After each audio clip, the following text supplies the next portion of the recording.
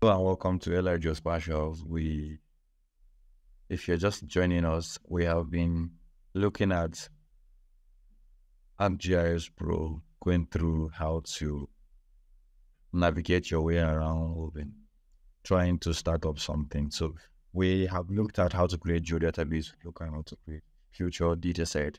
So in this video, we'll be looking at how to create feature class. All right. So briefly, you'll come down to all the folders. If you have followed through the video, our geodatabase, this is our feature class.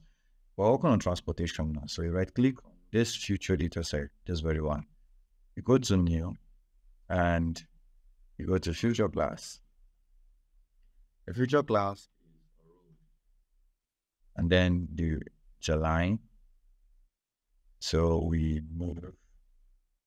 Okay, so here we're going to add fields. Let's say you want to add the road name. Let's say name. That's name of the road. So it's gonna be a text. Okay, so and then oh, name. There's gonna be a text. Now let's say we want to add a sub type to it. And then this subtype is going to be a short integer. So uh, then we next they already have a coordinate system since we're inside a geodatabase, a feature data set. But we just next, next, and then we finish it.